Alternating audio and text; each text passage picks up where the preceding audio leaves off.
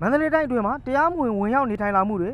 ထိမ့်မနိုင်သိမ့်မနိုင်ဖြစ်ပေါ်လာမှသာစီမံချက်တွေချမှတ်ပြီးဆောင်ရွက်သွားမယ်လို့လူဝင်မှုကြီးကြပ်ရေးနဲ့လူအစွမ်းအားအရင်းမြစ်ဝင်ကြီးဦးအောင်ကြီးကဒီကနေ့ကျင်းပတဲ့တိုင်းဒေသကြီးလွှတ်တော်မှာပြောကြားလိုက်ပါတယ်။ခံပြိုးပါနေမှာမိတ္တီလာမြို့နယ်မဲဆန္ဒနယ်အမှတ်၁ကတိုင်းဒေသကြီးလွှတ်တော်ကိုယ်စားလှယ်ဦးအောင်ကျော်မိုးတင်သွင်းထားတဲ့မန္တလေးတိုင်းအတွင်းမှာတရားမဝင်နီလန်းမျိုးစုံနဲ့ဝင်ရောက်နေထိုင်နေတဲ့ပြပနိုင်ငံသားတွေကိုအထူးစီမံချက်ချမှတ်ပြီးစင်စက်မပြတ်စစ်ဆေးဖော်ထုတ်ပြီးထိရောက်စွာရေးယူဆောင်ရွက်ပေးရေးအဆိုနဲ့ပတ်သက်ပြီးအခုလိုဖြေကြားခဲ့တာလည်းဖြစ်ပါတယ်။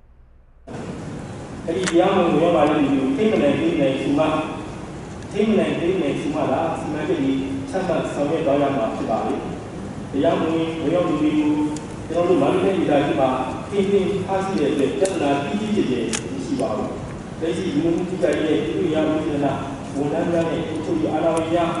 ပြည်သူများပူးပေါင်းပြီးတော့ဆောင်ရွက်လုပ်ကိုင်နေရှိပါလေဒီအဆိုကိုပြည်ခံပြိုးပါတီမှမိတ္တီလာမြို့နယ်မဲဆန္ဒနယ်အမှတ်၁က တိုင်းဒေသကြီးလွှတ်တော်ကိုယ်စားလှယ်ဦးအောင်ကျော်မိုးကဖေဖော်ဝါရီလ9ရက်နေ့ကကျင်းပတဲ့လွှတ်တော်မှာ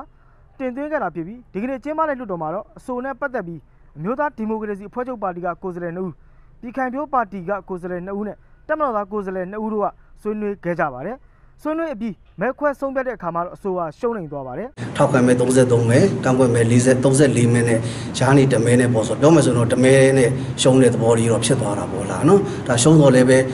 ဟိုဒီအဆိုဒီအမြင်ကိုတာမန်လူတွေပဲနားထောင်ကြည့်မယ်ဆိုလို့ရှိရင်လုံးတင်သလားမလုံးတင်ဘူးလားဆောင်ရွက်တင်သလားမဆောင်ရွက်တင်ဘူးလားတော့အားလုံးသိလိမ့်မယ်လို့ယူဆအဲ့တော့မဆောင်ရွက်တင်ဘူးလို့ပြောတဲ့လူတွေကဘာဖြစ်လို့မဆောင်ရွက်တင်ဘူးလို့ပြောတာလဲဆိုတာလည်းပဲကိုညံရှိရှိသလောက်စဉ်းစားကြည့်မယ်ဆိုရင်ပေါ်လိမ့်မယ်လို့ဒီလိုမျိုးယူဆပါတယ်လားနော်ပြည်ပနိုင်ငံသားတွေဝင်ရောက်လာမှုနဲ့ပတ်သက်ပြီးတိုင်းအစိုးရအဖွဲ့အနေနဲ့ကောင်းမွန်စွာထိမ့်သိမ်းကြီးကြပ် ရေးယူနိုင်တဲ့အတွက်အဆိုကိုမှတ်တမ်းအဖြစ်ထားရှိခဲ့တာလို့ဆိုပါတယ်ဒီကနိုင်ငံများသားများနဲ့ပတ်သက်ပြီးတော့မန္တလေးဒေသကြီးဆိုတာကောင်းမွန်စွာထိန်းသိမ်းကြီးကြပ်ရေးယူ